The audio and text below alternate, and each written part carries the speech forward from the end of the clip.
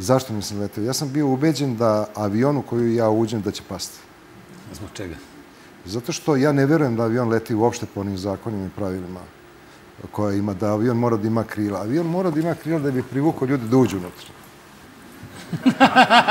Znači, I mora da ima motor. I mora da ima motor i mora da ima pilota. Inače, to ništa ne važi. To nikakve veze sa avionom nema. Imam celu teoriju zašto avion leti na energiji ljudi koji žele da ne padnu. Znači, To je jedino, jedino. Znači, ovi avioni koji korozin padaju- ne važi uopšte. Avion može da leti bez korozina. Sigurno. I onda me užasno nervira, leteli ste kad neko zaspi. kao opušteni, ja? Neko zaspi, znači... Zabušava. On, ne, ne, ti moraš da držiš avion.